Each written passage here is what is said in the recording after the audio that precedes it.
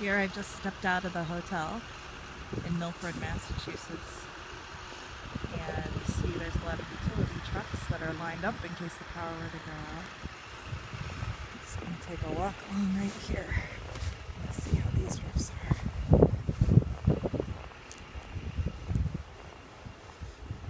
See over here. Woo, that's chilly. Can see right here against the door. That is a big drift. Stay on top of all this.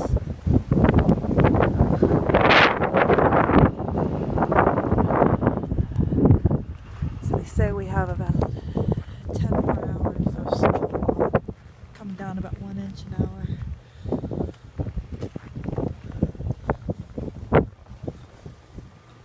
Right now,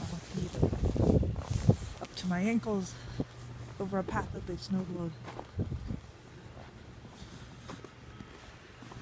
I don't think these cars are going anywhere anytime soon. Holy moly.